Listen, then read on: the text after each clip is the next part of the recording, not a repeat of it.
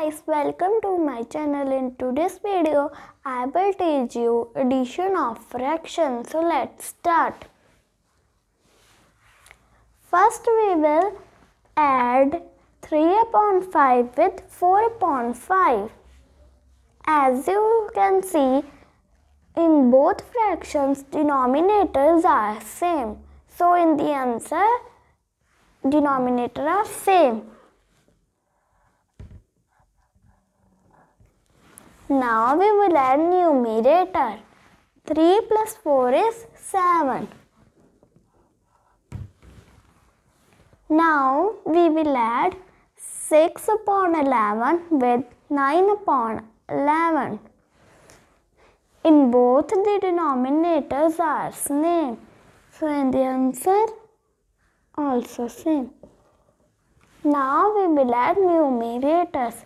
6 plus 9 is 15.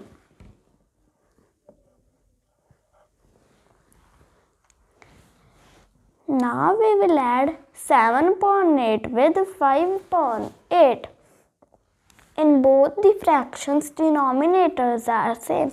So in the answer same.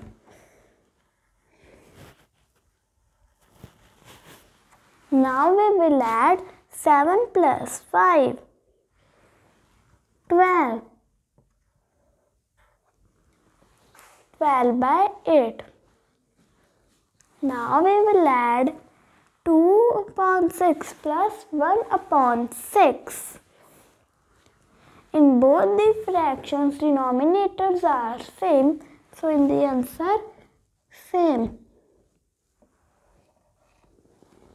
Now we will add 2 plus 1, 3. 3 by 6.